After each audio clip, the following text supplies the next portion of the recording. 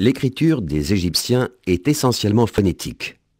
24 phonogrammes transcrivent l'équivalent de leurs consonnes, constituant ce qu'on appelle communément l'alphabet égyptien. Toutefois, les signes peuvent parfois signifier ce qu'ils représentent, ou bien avoir une ou plusieurs valeurs phonétiques. Aussi, pour éviter les confusions graphiques et préciser la signification d'un groupe de hiéroglyphes, l'Égyptien place après celui-ci des déterminatifs qui ne se prononcent pas. À côté des hiéroglyphes, les Égyptiens ont développé des écritures plus cursives, comme le hiératique, qui fonctionne sur les mêmes principes. Dans les inscriptions utilisant des hiéroglyphes, les signes disposés en ligne ou en colonne se lisent toujours du haut vers le bas.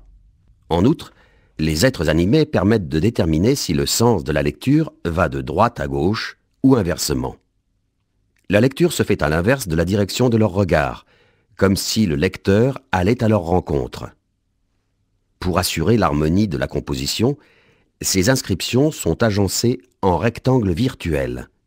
L'écriture hiératique est directement issue d'une simplification des hiéroglyphes. Mais un texte en hiératique, lui, se lira toujours de droite à gauche.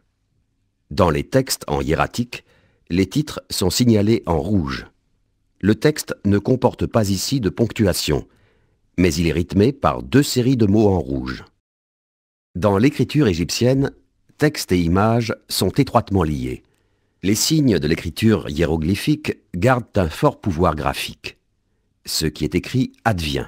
Ici, le hiéroglyphe de la terre devient le sol, celui du ciel devient l'image du ciel, soutenu par deux hiéroglyphes symboles de puissance et de robustesse.